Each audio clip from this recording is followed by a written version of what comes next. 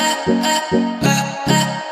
शिखर धवन को एक बेहतरीन खिलाड़ी मानते हैं तो हमारी इस वीडियो को लाइक ज़रूर कीजिएगा। दोस्तों, भारतीय टीम के स्टार सलामी बल्लेबाज शिखर धवन के निजी जीवन का ये मुद्दा सोशल मीडिया पर काफ़ी गरमाया हुआ है। जहाँ धवन की धर्म पत्नी आयशा से उनका हालिया में तलाक हुआ तो वहीं शिखर धवन का मिताली राज से रिश्ते को लेकर खबरें सोशल मीडिया पर सुर्खियाँ बटोर रही है। लेकिन तलाक के बाद अब पहली बार मिताली राज ने अपनी चुप्पी तोड़ी है, और रिश्ते वाली इन खबरों का भी ज़िक्र किया है। तो चलिए बताते हैं मिताली राज ने अपने बयान में क्या कहा। लेकिन उससे पहले आप सभी को क्या लगता है? क्या शिखर धवन को टी वर्ल्ड कप की टीम में शामिल करना चाहिए था या नहीं?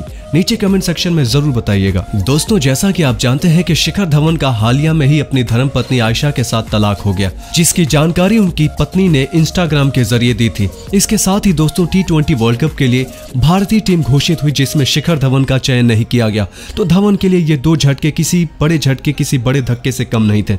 लेकिन दोस्तों, इस बीच शिखर धवन के निजी जीवन को लेकर काफ़ी खबरें सोशल मीडिया पर वायरल हो रही हैं। कुछ का मानना है कि शिखर धवन जल्दी ही मिताली राज, जो कि इंडियन महिला क्रिकेट टीम की कप्तान है, उनसे शादी करने वाले हैं तो कुछ का मानना है कि शिखर धवन पाकिस्तान के दामाद बनने वाले हैं। लेकिन इन सभी खबरों को मद्देनजर रखते हुए मिताली राज ने पहली बार अपना बयान दिया है।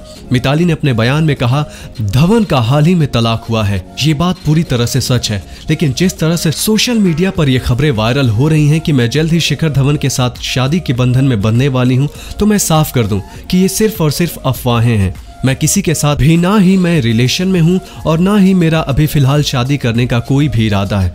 मुझे भी इस बात की सूचना मिली कि सोशल मीडिया पर मेरी ये खबर काफ़ी तेज़ी से फैल रही है, इसीलिए मुझे अपना लाइव बयान देना पड़ा, जिससे ये साफ़ हो जाए कि इन झूठी खबरों का मेरे जीवन से कोई ताल्लुक नहीं है।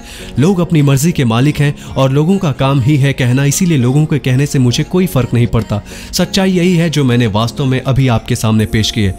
वैसे दोस्तों, जिस तरह से मिताली राज ने अपने रिलेशनशिप को लेकर खुलासा किया है। आप सभी को क्या लगता है, क्या मिताली राज शिखर धवन के साथ रिलेशनशिप में है या नहीं? इस बात का जवाब हमें नीचे कमेंट सेक्शन में कमेंट करके ज़रूर दें। इस तरह की खबरों के लिए हमारे चैनल को ज़रूर सब्सक्राइब कर दें। धन्यवाद।